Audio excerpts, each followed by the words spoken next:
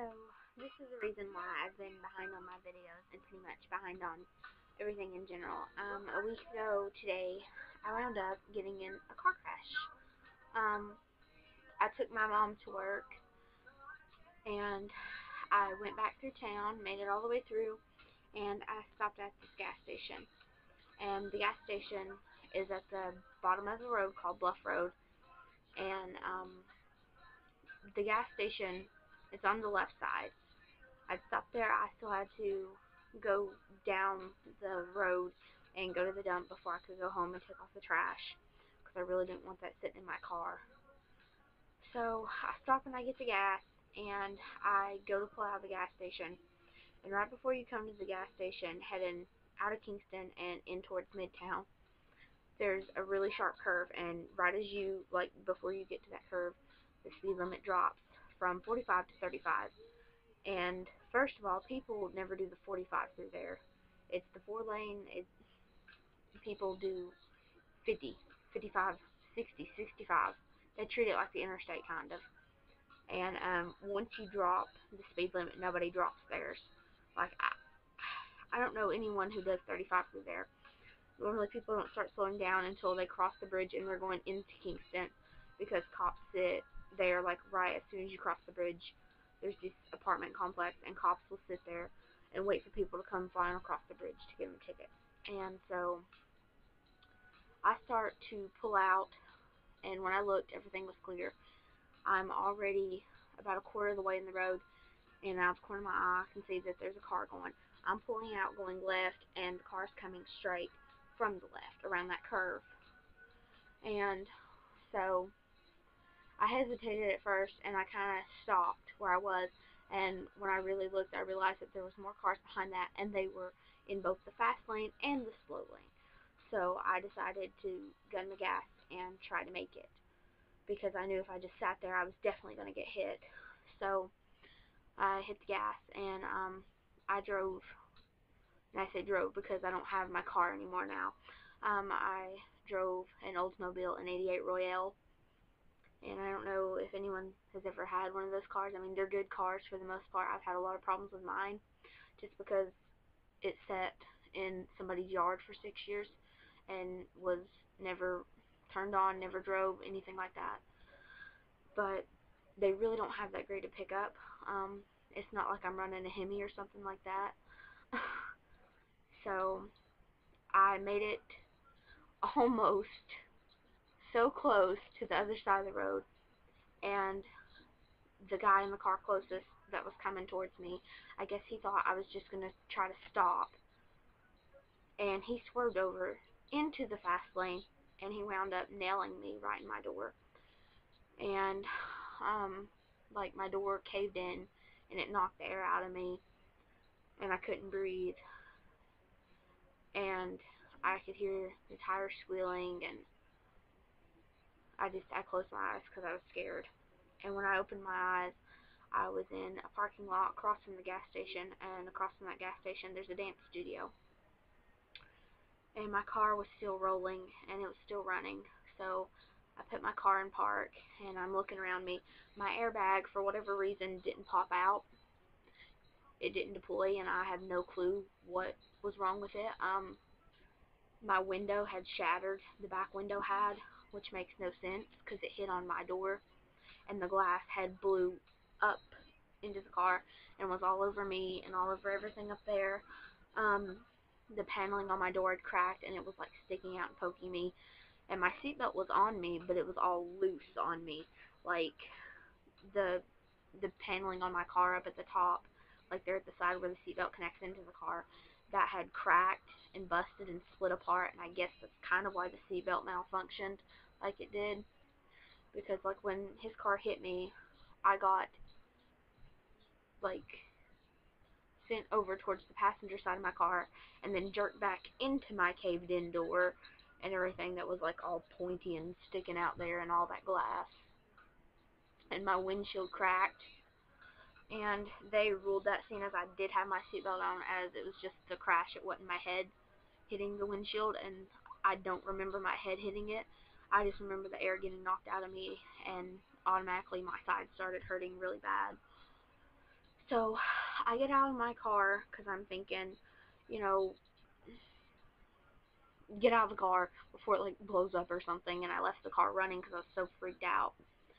And the other car has backed up to where I am now, and a guy gets out of it, and his car is like nothing compared to mine. It was some silver sporty car. I didn't even pay attention to what it was, but the damage to it is minimal versus the damage to mine. And I asked him if he's okay, and he said, yeah, I'm fine. But he tells me, don't call the cops, because I've got to get someone down here to say that they were driving the car instead of me. And he tells me he doesn't have a license. And I'm like, what? So, at this point, I'm really freaking out about the baby now that I'm out of the car, because I realize my side is hurting very badly. And I feel like I'm going to throw up. So I go back to my car, and I get in it like through the passenger side because you can't open my door. And I turn my car off because I realize it's still running, and I get my phone out and I call 911 anyway. And at this point, some people have stopped in another vehicle, and they happen to know this fella, and they're telling him, "Oh, you're so you're so screwed. You're going to jail. All this other crap." So I call 911, and I'm so panicky at this point that I can't even think of where I'm at to tell them. I've lived here seven years. I mean, and even before then, I've been in this town a lot because my family lives up here. And so they use um, the GPS to find me and stuff, and I told her that I was pregnant. And so I um, you know, I told her how far along I was and stuff, and she told me, you know, that um, responders were on their way. And so I get off the phone with her and I call my big brother because I know I need someone there. And I just dropped my mom off from work, so there's no way she could have gotten to me. And I don't have any other family really close enough. And my brother was like 10 minutes down the road at his house.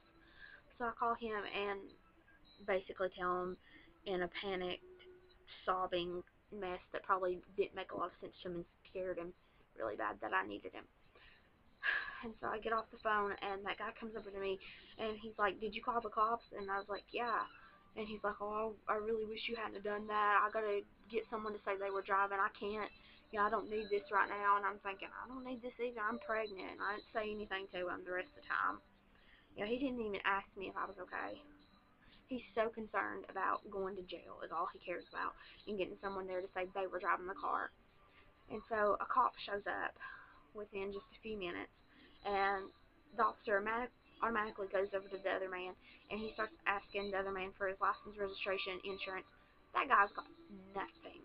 No license, no registration, no insurance, and he's like, it's my girlfriend's car, she's got all that stuff. So by the time the cop starts kind of talking to me, I'm really freaked out now, and I'm really upset, and I'm really scared about the baby more than anything. I told the cop I was pregnant, and that pretty much just stops everything. And from there, stuff moves so fast. Like, I wound up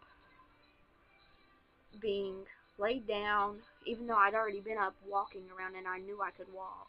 I knew, you know, I wasn't, you know, my legs weren't broken or anything. And I wasn't bleeding anywhere. You know, I was already getting some bruising showing up already. And they strapped me down on one of those board things they put this collar on me and they load me up in the ambulance and my brother gets there like just as soon as they're about to take me away and he tells me that he's gonna go get mom and he leaves me. And they take me to the hospital and that was the fastest I've I've ever gotten anywhere.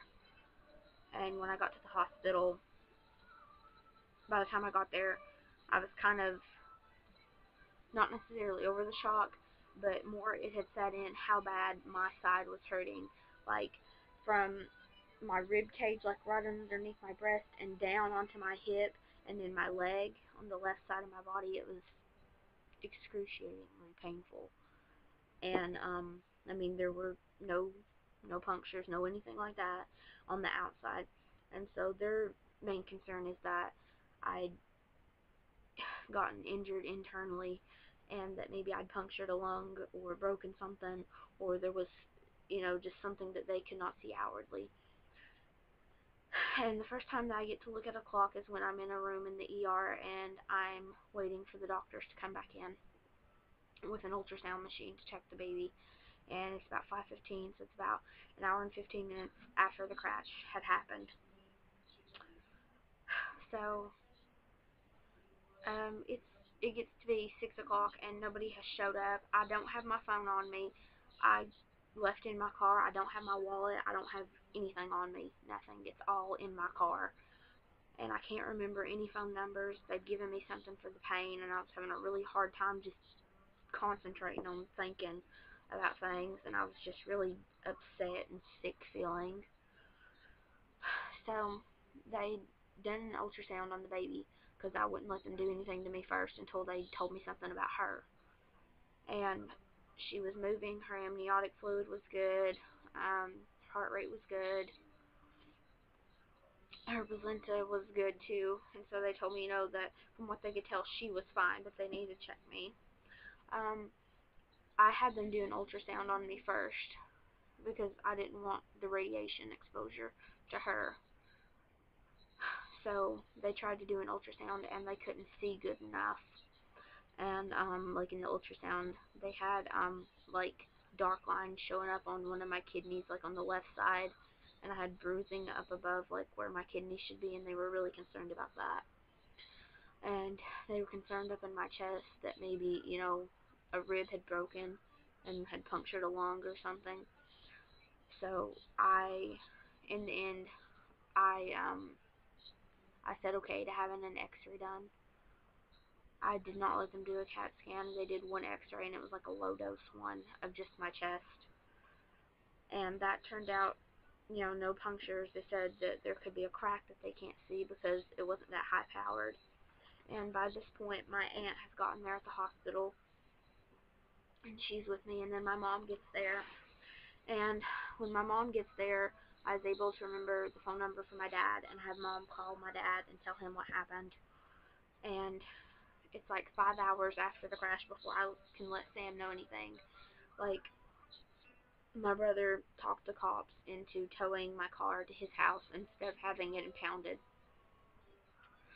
So I had my niece get in my car, find my phone, and pull Sam's number off of it to call him and tell him.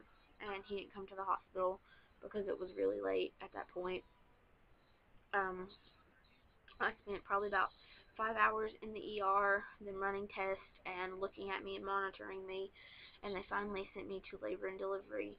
And they hooked me up to machines up there to monitor me for any contractions because they were worried that um, I might go into labor from it. And it was probably going on 1 o'clock in the morning when they finally discharged me. So I spent the majority of my night in the hospital, and it was about 2 o'clock when I got home that morning.